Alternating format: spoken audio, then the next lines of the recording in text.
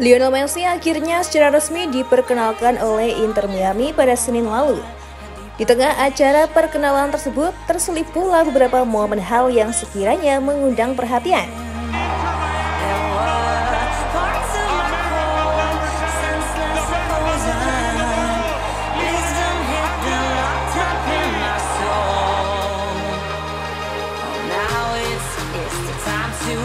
Lionel Messi tak sendirian saat diperkenalkan sebagai pemain baru Inter Miami.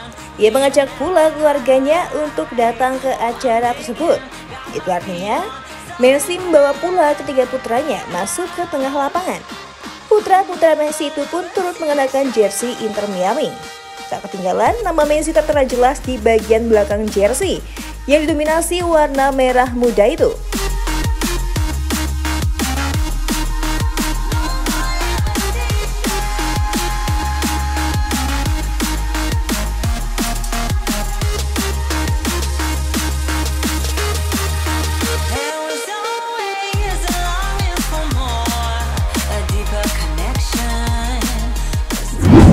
Di saat sang ayah menyapa para penggemar, salah seorang putra Messi melakukan hal unik.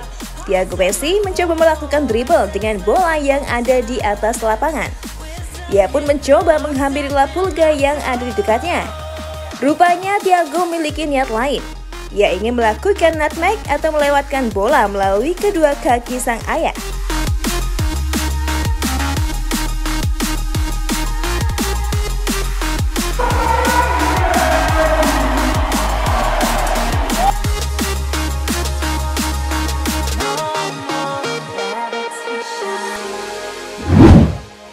Nampak sedikit terkejut dengan ulah sang putra, ia sempat menengok ke arah Tiago untuk memastikan sesuatu.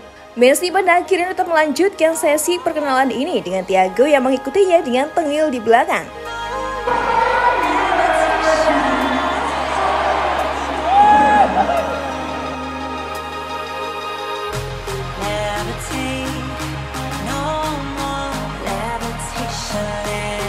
Anak-anak Messi sendiri memang dikenal suka menjahili ayahnya sendiri. Selain Thiago, ada juga Matteo yang sudah terkenal dengan sifat panggilnya.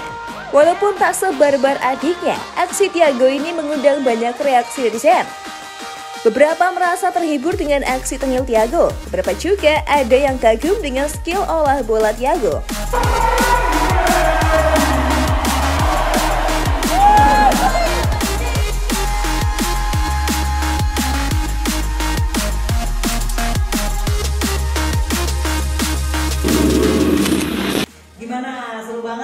Pastinya. Emang iya. Pokoknya kalau ada informasi terbaru dari dunia sepak bola, waduh, udah pasti seru banget deh. Kalau kamu masih merasa kurang dan pengen tahu informasi seru lainnya, kamu pantengin terus aja FGD Football. See ya.